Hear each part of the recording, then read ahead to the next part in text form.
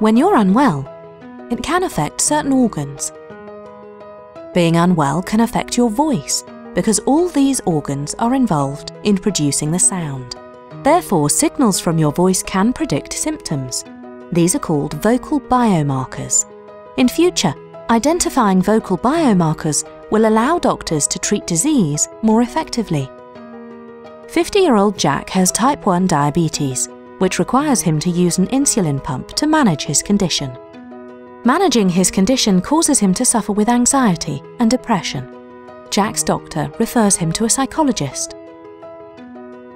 He monitors Jack's mental health by getting him to make a weekly voice recording on the smartwatch app Jack already uses to monitor his blood glucose. To help people like Jack, we're creating a multilingual voice database.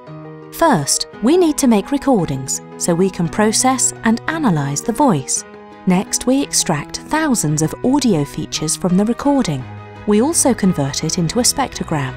These are then fed into AI models to predict whether the individual has a certain symptom or disease.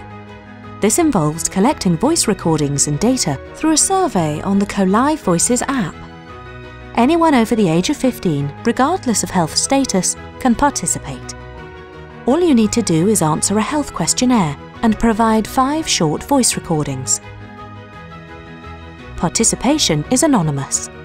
The more diverse the data, the more inclusive the digital health solution will be. We need data from males and females of all ages who speak different languages with different accents. Donate your voice and share this video with your friends and family today.